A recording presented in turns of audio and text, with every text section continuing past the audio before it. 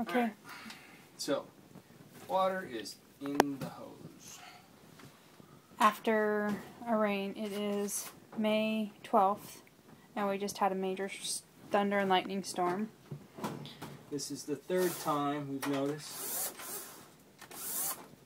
And we believe it is, We believe there's a leak in the roof. well, at least in the, the vent tube.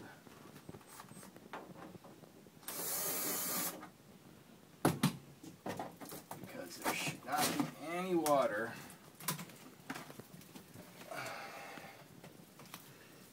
Coming out this.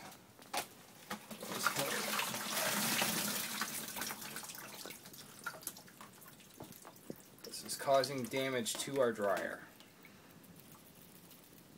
And again, this is the third time this has happened.